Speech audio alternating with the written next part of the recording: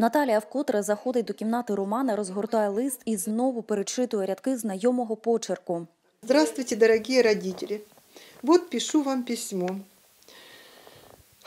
В первых словах хочу вас поздравить с наступающим Новым годом.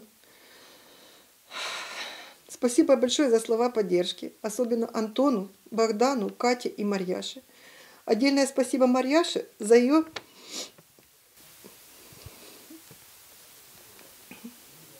рису- рисунок. На русском пишу.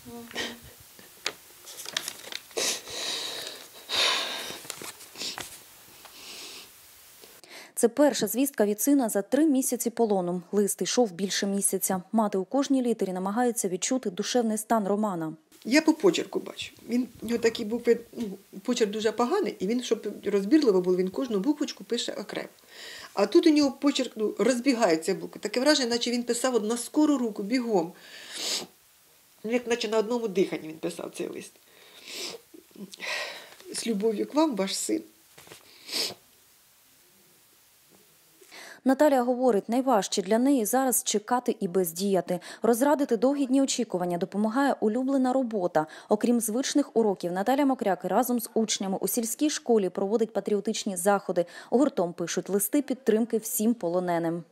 Я думаю, що кожен вид нашої діяльності, де ми проявляємо свою шану, любов, підтримку, буде приємно нашим хлопцям і особливо їхнім батькам зараз, тому що їхні батьки, сім'ї потребують особливої уваги і підтримки.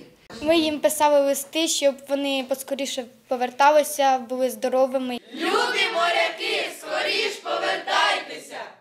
А вдома тихими вечорами з чоловіком пригадують дитячі пустощі трьох синів, переглядають родинні світлини, перечитують новини в інтернеті та знов і знов дістають із конверту коротке послання від полоненого сина. Ну, це особливе, те, що ти тримаєш в руках, ти знаєш, що тримав його він. Писав, як то раніше ще, знаєте, як то писали мальчики і дівчинка, та ще й нюхали, чи пахне духами, да? Це ви знаєте, таке враження, мені хотілося понюхати, чи не пахне дитиною. Я думаю, а може тюрмою буде пахнути, як та тюрма пахне.